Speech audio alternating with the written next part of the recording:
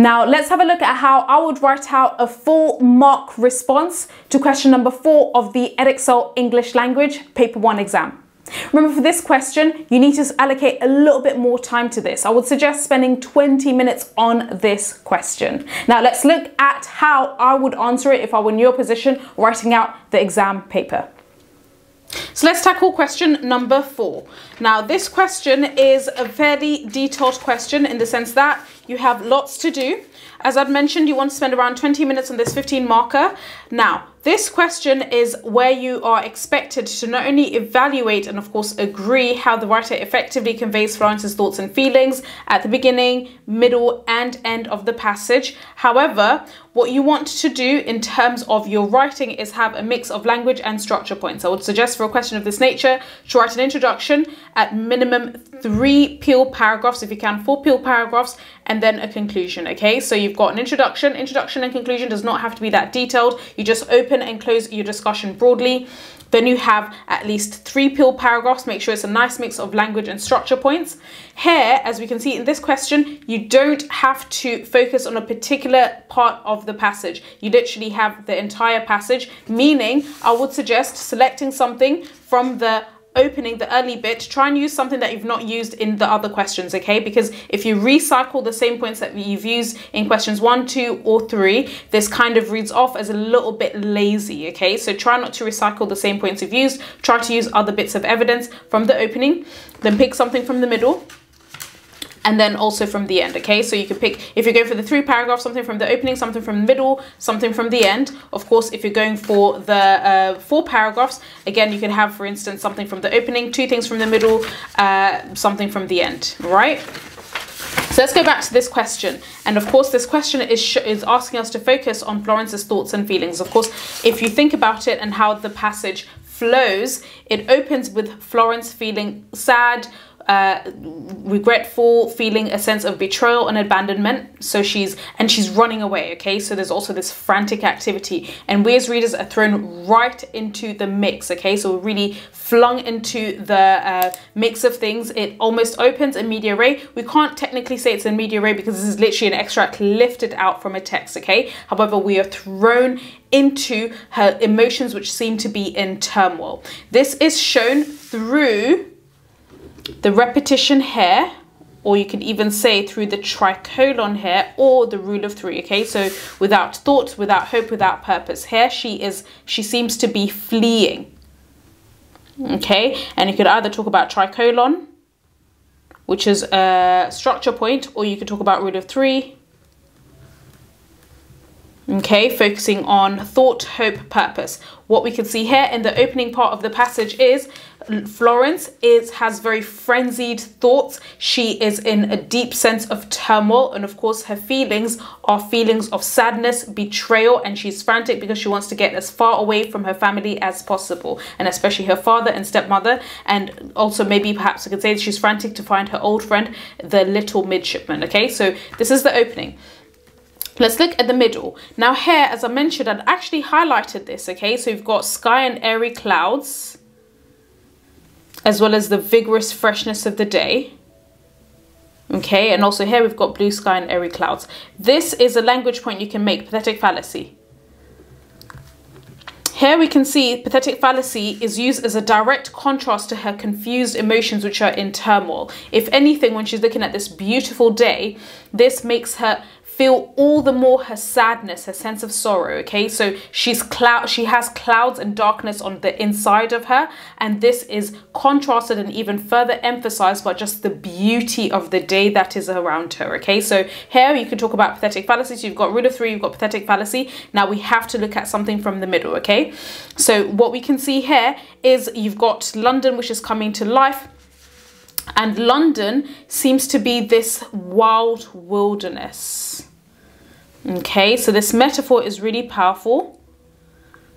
In conveying, especially when it comes to Florence's thoughts and feelings, just how lost she feels. Okay, so when she's going through this, uh, the streets of London, this metaphor is showing just how it looks like a labyrinth. It's this area which doesn't seem to be very accessible to her, and this is reflecting of how just alone she feels. These are the, her thoughts and feelings. Okay, so this is a really powerful metaphor. Of course, you want to also focus on this sudden shift in her feelings. So the contrast between the rhetorical question, where to go here, this rhetorical question shows she feels completely alone and confused on where she can go.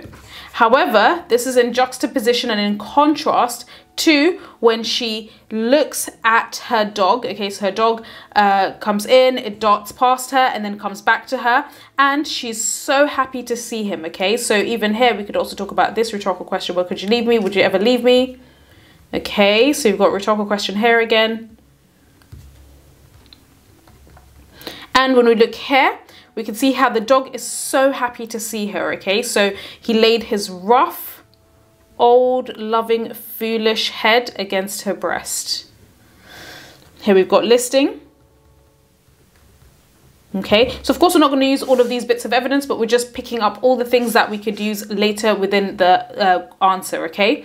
So here we've got listing, which shows just the, the loyalty that the dog feels towards her, okay? And what this is illustrating in terms of Florence's thoughts and feelings is in contrast to how she felt really alone, um, really sad, a strong feeling of abandonment and betrayal here. Now she feels that she's not completely alone. She's not completely abandoned. She has a loyal companion who really cares for her. Now let's look at what we could pick from the end and how the passage ends.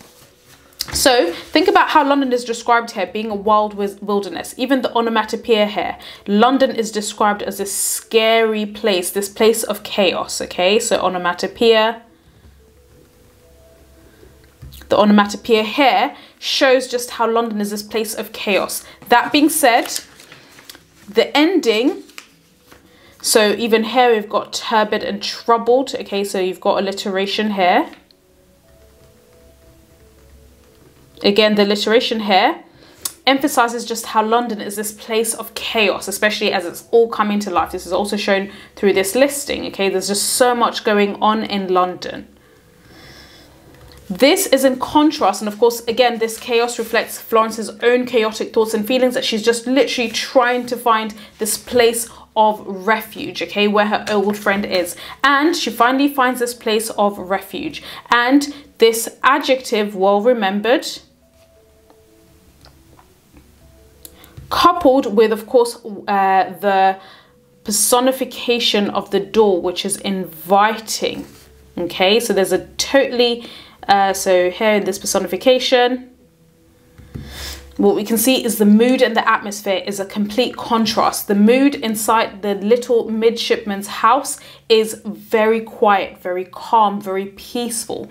And when she suddenly enters, her thoughts and feelings shift from being really chaotic, being very frantic, to being calm, very serene, okay? And of course, this is shown through the, the notion that the midshipman's home is her place of refuge, okay? So there's lots going on within this passage which you want to consider and to think about, okay? So as I mentioned, what you're doing is as you're going through, you're just picking out these things. You don't have to talk about all of it. However, now that we've picked out all the relevant information, Let's look at how we can apply this to question number four. Now remember for question number four, when it comes to the uh, writing it out, you want to always begin with an introduction and a conclusion. The introduction and conclusion does not need to be too complicated. Intro and conclusion is just referring back to the question. You're talking about how successfully it's achieved. It's always successful. This is not a history essay. You're not talking about how Charles Dickens, oh, he's successful to an extent, he's not successful. No, this question is not a debate question. Just say that the writer successfully achieves whatever the question is asking. In this case, the writer successfully conveys Florence's thoughts and feelings and her shifting thoughts and feelings.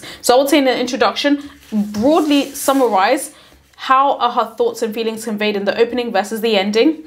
And of course, how does the writer use a, a, mix of language and structure techniques? Let's go over this introduction and how I would go over it, okay? So always begin by using a bit of the question to begin. So you can state within the extract, Dickens successfully conveys Florence's shifting thoughts and feelings. Okay, so I've started off by saying within the extract, Dickens successfully conveys Florence's shifting thoughts and feelings. I'm referring it back to the question and also saying that yes, he's, I'm already starting with evaluating that yes, he's successful and he's showing her thoughts and feelings. At the start of the passage, we can see she is in intense turmoil and shock as she is fleeing and searching for her friend, for her friends, home. As the passage progresses, she is relieved when her dog finds her and by the end her thoughts and feelings become calm when she reaches the little midshipman's home. Okay, so this is the introduction, and actually, you could then state and finish off Dickens successfully conveys her changing thoughts and feelings through using a mix of language and structure techniques. Okay, so let's read through the introduction. And as I mentioned, introduction and conclusion it can be really similar. In fact, I would say keep your intro and conclusion uh, almost the same. Of course, you can change it a little bit, but you don't need to expend too much energy on it. Use this introduction in your conclusion and just begin instead of within the extract in conclusion, Dickens successfully, okay? So let's go over the introduction. Within the extract, Dickens successfully conveys Florence's shifting thoughts and feelings. At the start of the passage, we can see she is in intense turmoil and shock as she's fleeing and searching for her friend's home. As the passage progresses, she is relieved when her dog finds her and by the her thoughts and feelings become calm when she reaches the little midshipman's home. Dickens successfully conveys her changing thoughts and feelings through using a mix of language and structure techniques, and that is it for your introduction. Now, let's begin with the first point, okay? So we're gonna start off with how her feelings are really in turmoil. Her thoughts are really jumbled up. She is really just feeling a strong sense of betrayal, abandonment, sadness, and just intense sorrow. And this is conveyed through we are going to mention the tricolon, okay? So I'm going to go for the structural point because I'm also going to talk about afterwards the pathetic fallacy, which is a language point. So I'm being now strategic, okay? So I'm going to use the peel structure. Again, going back to question number four, you want to write at least three or four peel paragraphs before you write your conclusion. So you have your introduction, three to four peel paragraphs, making sure that it's a mix between language and structure for each peel paragraph, and then your conclusion. So I'm going to start my first peel with this structure point. So let's start the point, okay? Mm, at the opening of the passage, we as readers are flung into a chaotic scene as Florence sorrowfully flees her home, hence the chaotic opening reflects her thoughts and feelings which are in extreme turmoil. Okay, So this is my opening peel paragraph, okay? So this is my opening point.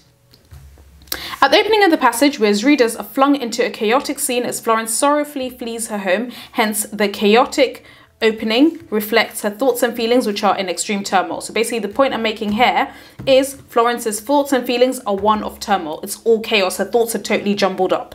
So that's my point. Now let's embed the quotation here where she's talking about she's running without thought, without hope, without purpose, okay? Mm. Florence had fled her home without a thought,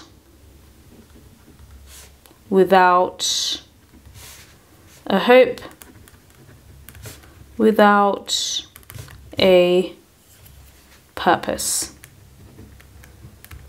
Okay, so here is my evidence and I've embedded the quotation. Florence has fled, speech marks, close speech marks, her home, speech marks, without a thought, without hope, without a purpose. I've embedded my quotation here. So now I'm going to talk about the tricolon and the reference to her thought, hope and purpose. Dickens effectively uses tricolon to show how uh, terrible and how how sad Florence felt at her parents' abandonment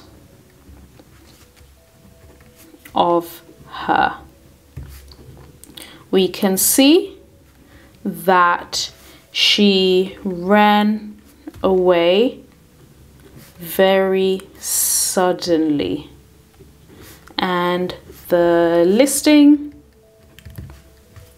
reflects her intense feelings of shock and turmoil as she is not even clear on what the future holds for her.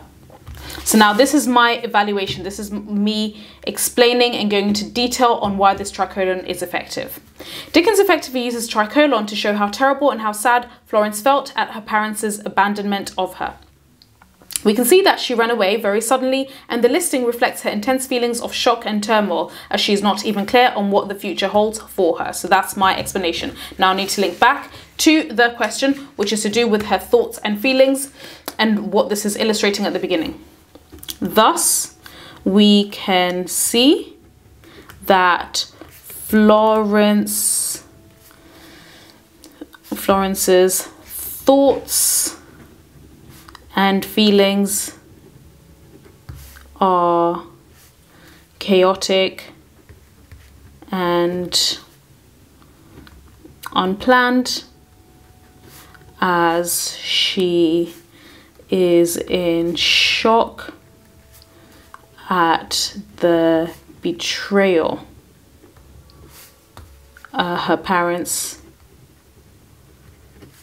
of her parents' actions. The opening reflects her mm, stunned state of mind as she is running away. So this is my link back. Thus, we can see that Florence's thoughts and feelings are chaotic and unplanned as she is in shock at the betrayal of her parents' actions. The opening reflects her stunned state of mind as she is running away. So that is it with regards to the link back to the question. Okay, so that's my opening peel paragraph. So just to quickly recap, I started off with my introduction. Then I moved on to my first peel paragraph relating to the opening of the extract. Okay, so this is the tricolon. So now I'm going to move on to talk about pathetic fallacy and how this reflects and rather contrasts with her thoughts and feelings. So she feels really gloomy, she feels really sad. However, the pathetic fallacy, she's looking at the weather and she just can't believe how beautiful it is because it's all the more emphasizing her sense of sadness.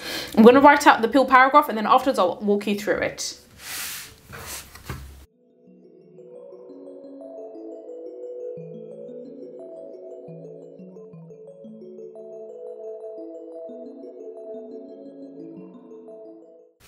Right, let's look at the second Peel paragraph.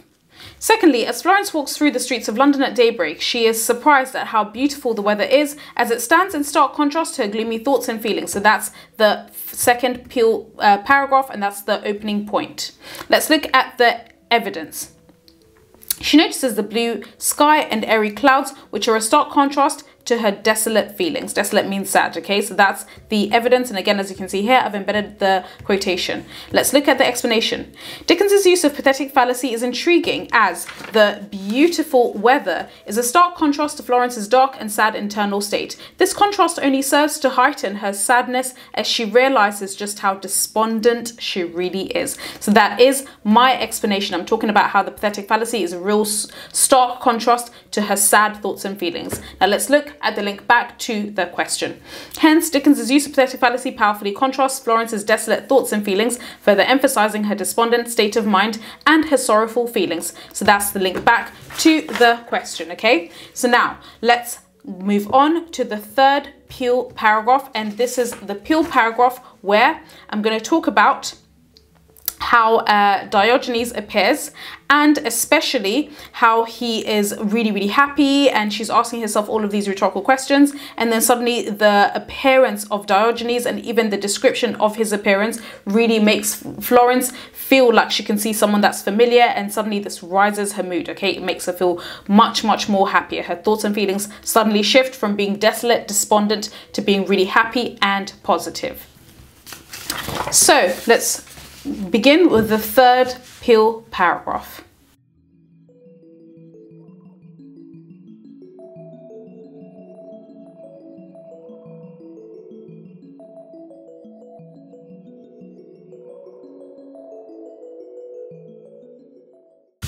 Okay, so let's look at the third peel paragraph. So I start off with stating Thirdly, Florence's thoughts and feelings of loneliness and despair suddenly change when her dog Diogenes appears. Seeing her familiar companion restores a sense of happiness as Florence realizes she still has a companion who cares for her. So that's my first point. And also don't forget, if your point starts getting a bit too long, you can write it in two separate sentences, okay? So that's my first point. Now, the, here is the evidence.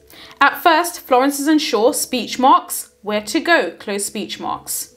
Yet, her sighting of her dog's speech mark, rough, old, loving, foolish head, close speech marks, restores her sense of cheer as she realizes she still has a familiar figure from her past that still cares about her. So that's my evidence, okay? So I've embedded two quotations, this rhetorical question as well as the listing, which describes how Diogenes looks like. Let's look at the explanation. Dickens's use of rhetorical question coupled with listing emphasizes how Florence's thoughts and feelings have suddenly changed when she saw Diogenes. Okay, so that's my explanation. Florence is elated and blissful when she sees him as she realizes that she is still loved. Okay, so that's also the rest of my explanation. Okay, so I'm going to go over my explanation once more. Dickens's use of rhetorical question coupled with listing emphasizes how Florence's thoughts and feelings have suddenly changed when she saw Diogenes. Florence is elated and blissful when she sees him as she realizes that she is still loved. That's the explanation. Now let's look at the link back to the question. Therefore, Florence's thoughts and feelings change from being despondent to becoming blissful when Diogenes appears. Now let's look at the, and let's write out the final peel paragraph before the conclusion.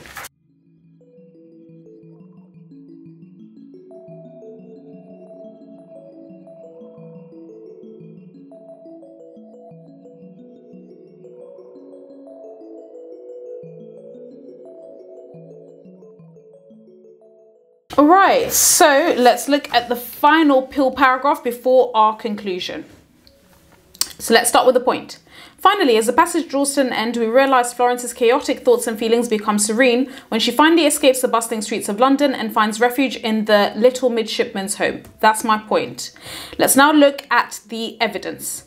London streets are noisy as they speech marks clash and speech marks roar, and the city seems like a speech marks wild wilderness that is confusing. That is my evidence. I've used two bits of evidence. I've used the clash and roar here and also the wild wilderness here, the metaphor, okay?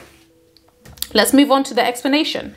Florence is relieved when she sees, or actually no, and then I've added another extra bit to contrast and to juxtapose these two uh, bits of evidence, so the onomatopoeia and the metaphor, with the uh, description of the little midshipman's home as being inviting. Okay, so I've also added a third piece of evidence. So Florence is relieved when she sees the inviting in speech marks door of the little midshipman, which was left open. Okay, so just to recap, I've used three separate bits of evidence. Okay, so I've used the onomatopoeia clash and roar here. I've also used the uh, metaphor here, wild and wilderness. This is showing how London's streets are really noisy, really chaotic. And this is in contrast to the final quotation I've used, the inviting. And of course, I've embedded all of these quotations. And this inviting quote shows just how calm and serene the little midshipman's home is.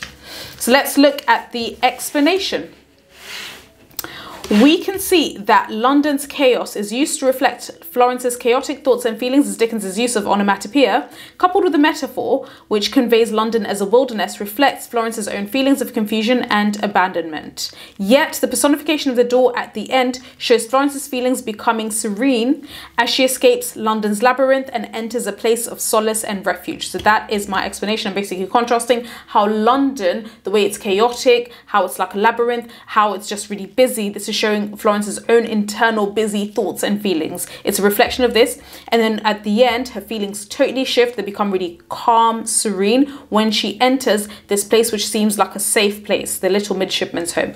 Now let's look at the link back to the question. Thus, Florence's thoughts and feelings shift from sadness and turmoil to serenity when she enters the little midshipman's home, which is depicted as a haven for her. Okay, haven is a place, a safe place.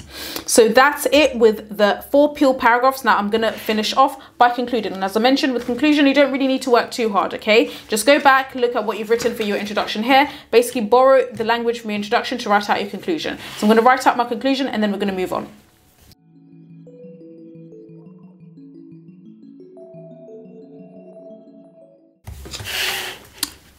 So let's look at the conclusion. In conclusion, Dickens successfully uses a range of language and structure techniques to reveal Florence's changing thoughts and feelings. Again, here, it's fairly similar. I've just literally had the introduction in front of me and I've borrowed language from it. At the start of the extract, Florence is in intense turmoil and chaos as she fled her home, yet she is happy when she sees Diogenes. The passage concludes by portraying her thoughts and feelings as serene once she enters Little Midshipman's home, which serves as a place of solace for her. A place of solace is a place of peace, somewhere where you can escape, okay? So of course, it's not necessarily word for word. To be honest, if you wanted to use your introduction word for word for your conclusion, that's also fine. However, if you want to just change a few words around, you can just literally do something similar to this, okay? However, your examiner is not looking for this perfect introduction, perfect conclusion. You're not writing English A levels. You're not doing an English degree. So you don't really need to have this super detailed intro and conclusion. You just need to show that for an essay of this nature. You need to open it really nicely with an introduction and you need to close it with a conclusion. And of course, you need to add a minimum of three peel paragraphs. If you can, add four peel paragraphs. So that's really it when it comes to answering question number four. So that is all for this lesson. As I mentioned, this video and these lessons are a slightly different format from before and it's actually based on your feedback, okay? So when you guys give me feedback, I'll always pay attention and where I can, I do try my best to adapt and give you guys what you need and what will help you on your journey and to make your GCSE experience, especially with English, easier, okay? So if you do enjoy this style of lesson, do let me know. I'd love to hear your feedback. And of course, if these lessons are a little bit crap, also just let me know, okay? I really appreciate your honesty. I take it as constructive criticism. And as I mentioned, where I can, I'll be more than happy to adapt my method in order to really help you guys achieve that goal of getting a really solid, good English GCSE at the end of this process. So thank you so much for listening.